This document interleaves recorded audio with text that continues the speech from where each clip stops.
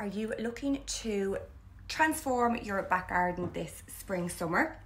And are wondering what is the process? What is involved in ordering a log cabin, a summer house, a garden room from Log House? Don't worry, we have it all outlined. We put together a guide to buying a log cabin with Log House.